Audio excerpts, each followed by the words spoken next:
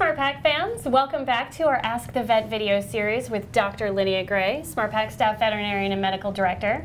I'm SmartPaker Sarah, and because of our scheduling snafu back in June, we uh, have a lot going on. We Mm, just we did a do. whole other video. It was awesome. We're doing back-to-back videos, and we are ready to go. Pumped. Yeah, we're very excited. And so we are here, as always, to answer the questions that you guys submitted and voted on and voted to the top.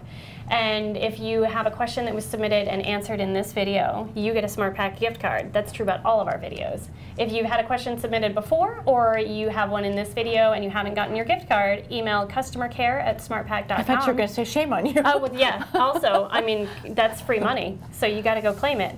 Email customer care at smartpak.com and we'll get you all set up. Without further ado, Cool. I'm going to jump in because I'm very excited about the Yeah. questions we got. Our first question was submitted by Lindsay at blog at smartpak.com and blog.smartpak.com. Got to get that right. It's not an email address.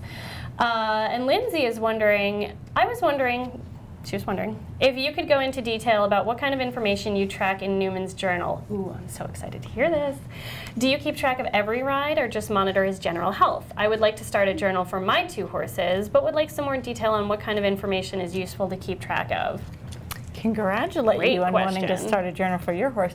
I meant to bring his journal today and I forgot it. So, Mm. But the good news is, I also wrote a blog on this and I took pictures. So when that gets Yeah, uploaded, link in the description. Yeah. Click down there. there. You can go see those so, pictures. Good questions. What do I track? Um, I track in the very front, you know, there's, a blank note pages. I track the wellness work like uh, vaccines, deworming, when the dentist was out, when his feet were done, all his, all his body workers, um, saddle fitters, Mm-hmm. any kind of work like that. Um, I also track on a different page, but in the front, any and all lessons, clinics, shows, trail rides, basically any any time I left the farm and, and did any event sort of thing. And then um, the meat of the journal though is is the daily rides, and I do track every ride because that's how I find out things that I, I because I follow the trends.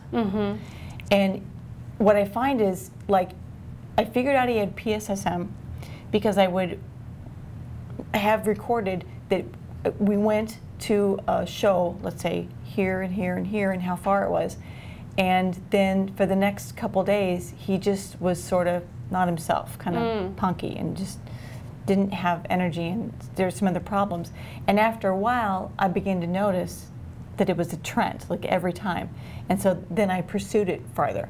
Um, and I think that's how I figured out he was a head shaker. And I just, I write down, I write down things like the temperature, you know, the heat and the humidity, um, what the weather was doing. Was it raining or snowing or was there a tornado? You know, things like that. And, and those kinds of facts, along with how he did that day and what we worked on, really helped me uncover early any problems. I mean, I record his body condition score and I, I weight tape him. I, did the height thing. I don't have to keep doing that because he's pretty leveled off by now. He's, he's 16.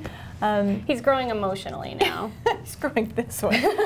so, um, but I, I do. I, I, I feel like if I write down everything, I keep track, especially on the month at a glance pages where when you open up the, the paper journal that I use, but you can do all this electronically too. You can look at a month at a glance, and then I can see, say, when I started a particular supplement, like we went on the spirulina pellets, mm-hmm. and it really helped with his uh, breathing problems. And then I said, I don't think it's really helping, so I stopped it but then they came back, so I'm like, mm-hmm. start it, start it, start it. Yeah, um, good test. Yeah, and medication, you know, like when, whenever he's on a puffer, so whenever I use a new puffer, I put down, open the new puffer, you know, and so I, I can keep track how long they last and when it needs to be reordered. So that little book, I, I lost it about two months ago, and I, I panicked. I thought my life was over. So maybe have a backup copy um, if you do it, but it, it's immensely helpful. So I I, love it. that. Yeah. Newman's journal. Newman's the best. It's more exciting than mine, let me tell you.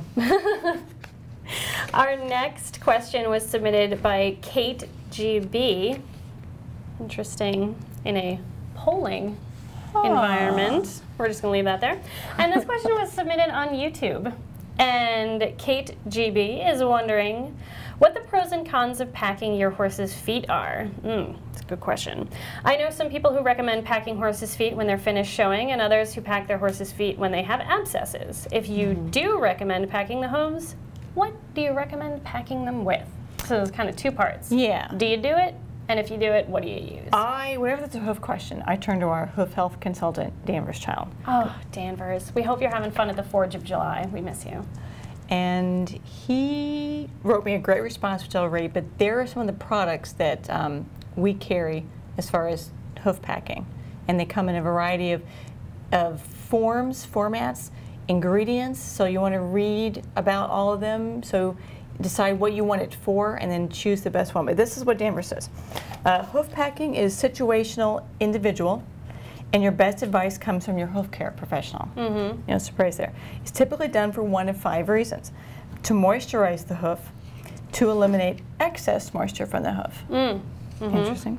To provide support for the hoof, to address bacterial or fungal issues within the hoof, -hmm. and to address inflammation or bruising in the hoof. Mm. I lost my, there we go. The traditional approach to packing for any and all of these five concerns is to utilize a bentonite clay based packing. Okay. Which combined with some herbal ingredients works as a poultice to soothe sore hooves, tendons, and ligaments. This is an excellent choice following strenuous activity, so mm -hmm. I'm not sure she mentioned that one.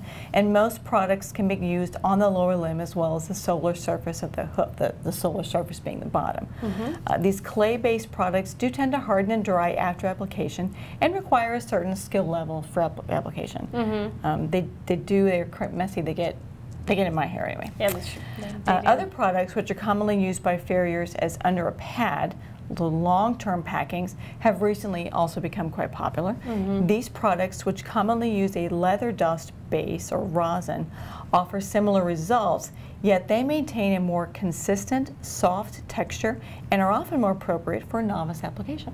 Huh. So I I learned I read this three times and I learned a ton because I, I, personally don't use a lot of hoof packing. I have.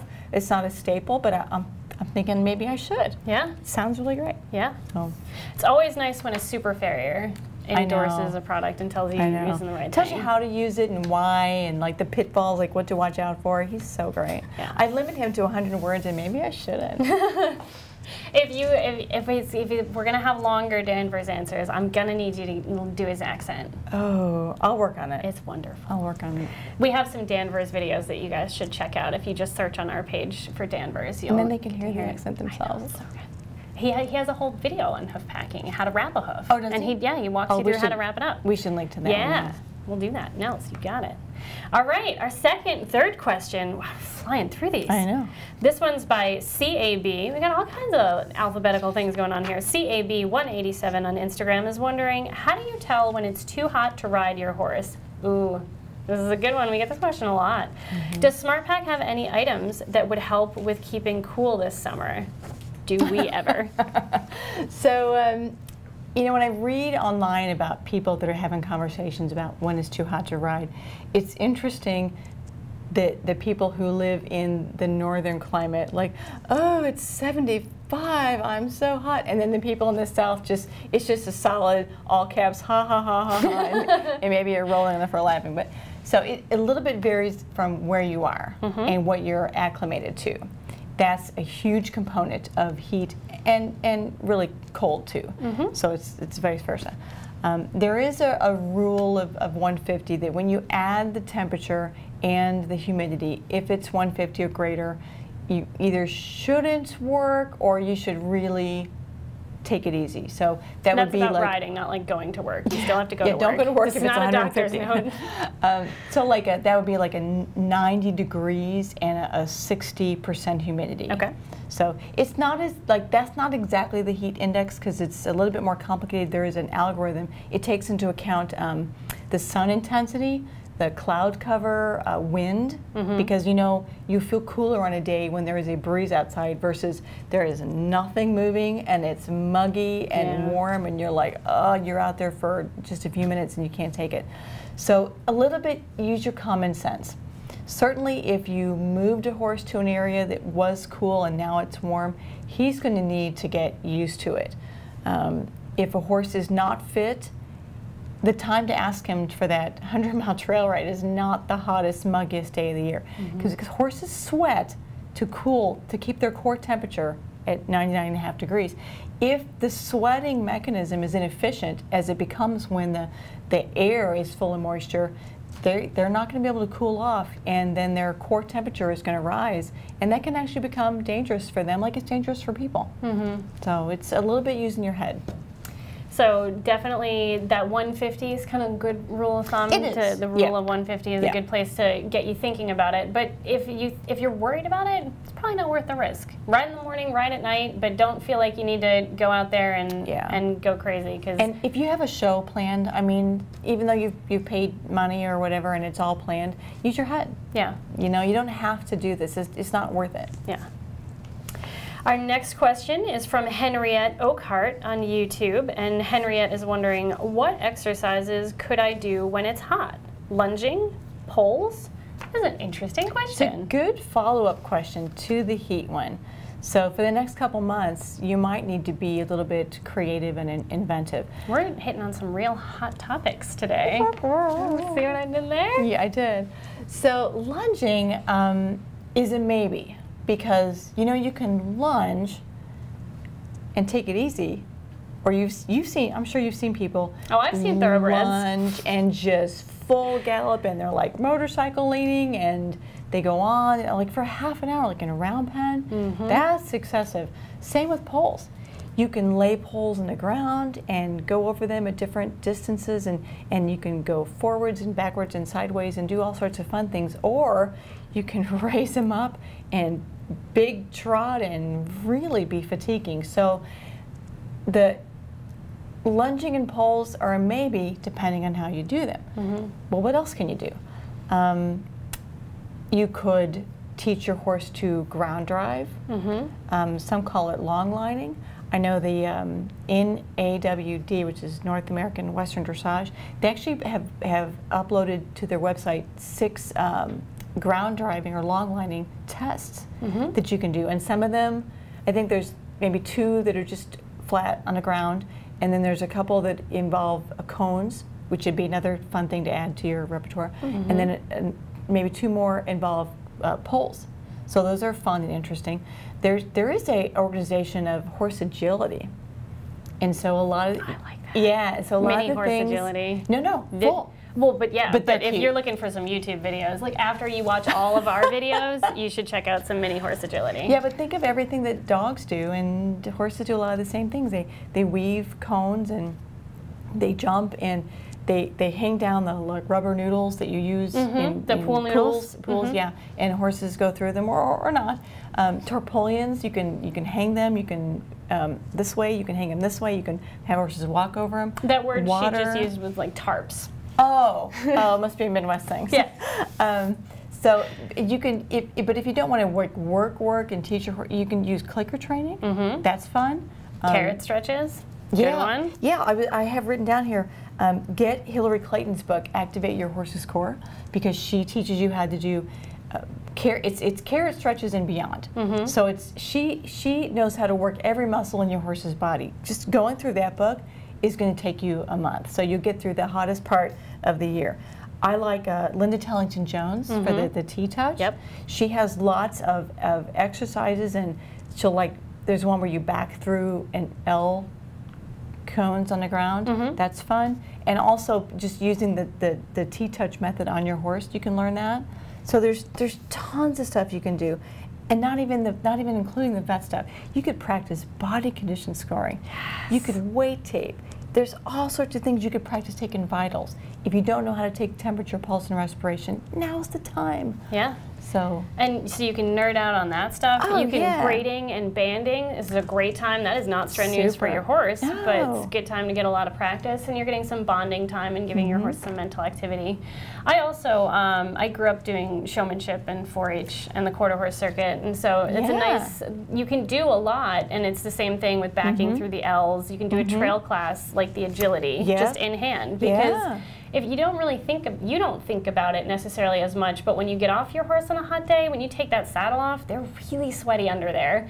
So if you take that element out, you can do so much of what you're doing on their back just in hand. Yeah, some groundwork. Super Yeah. fun. Awesome. Great question. Last but not least, Pony Girl Morgan on Instagram asked, What is the difference between tying up and colic?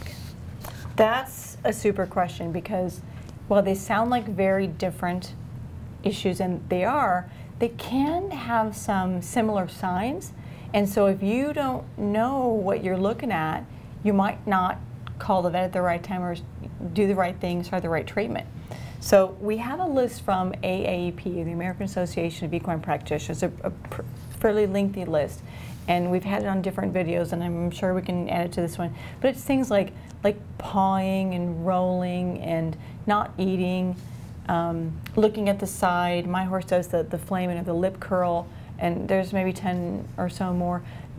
Um, those are pretty classic signs of, of colic, and colic being abdominal pain from a, a host of reasons. So that's colic. Tying up, the um, medical term for that would be exertional rhabdomyolysis. And there's an H in there. Just figure out where it is. There's a Y. Yeah, there's all, yeah. And th- so that's the medical term.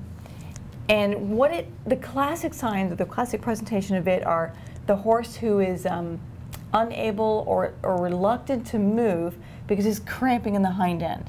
And so the, the back and, and butt, croup, loin, and uh, hamstrings or hindquarter muscles will be firm, uh, hard even, and, and painful. And we're talking more skeletal muscles, not cramping like people think of Not cramping. abdominal cramping, no. This is like behind the saddle, behind legs, like a Charlie horse, like a Charlie horse. So, um, but they also might sweat. The colicky horse might sweat because sweating can be a sign of pain in horses.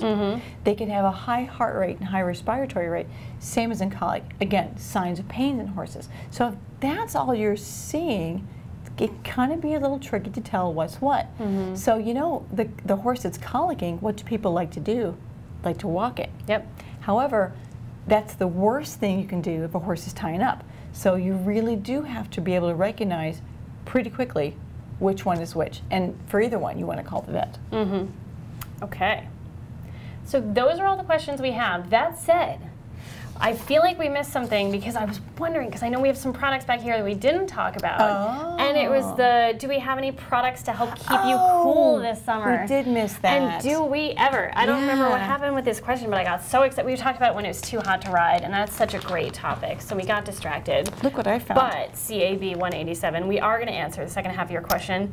This is Kool-Aid, cooling technology. which is very cool. yeah, very hip. Pun intended.